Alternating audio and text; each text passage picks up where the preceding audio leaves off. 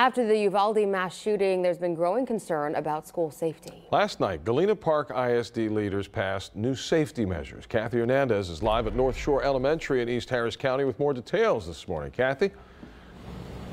Good morning to you. We're here outside the facility. It's North Shore Elementary School and the Galena Park ISD uh, Child Care Center as well. And as you said, Galena Park ISD is working to make sure their students are safe this upcoming school year. The Board of Trustees approved several security measures last night, including hiring an extra 19 officers in the district. They are con contracted through the Harris County Constable's Office in Precinct 2 and 3. This means all of their schools, pre-K facilities, and daycares will have full-time security. The school district serves 22,000 students on 24 campuses. This comes three weeks after a gunman opened fire inside Robb Elementary School in Uvalde, killing 19 students and two teachers. The law enforcement response has been under scrutiny, and now the Department of Justice has launched an official review.